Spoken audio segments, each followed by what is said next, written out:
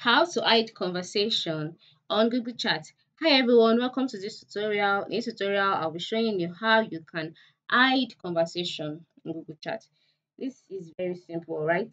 The first thing to do is to log in into your Google Chat account. I want you to note that your Google Chat account is the same as your uh, Google account. That is, you use your Google account to open a Google Chat account.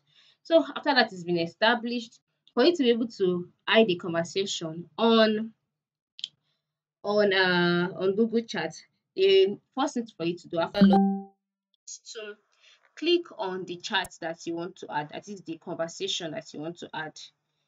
Just move over to the conversation, and then once you place your cursor on it, you'll see three dots next to the email address. Just click on the three dots.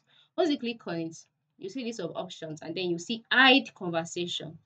Hide conversation just go ahead and click on it. Once you click on it the conversation will be hidden automatically.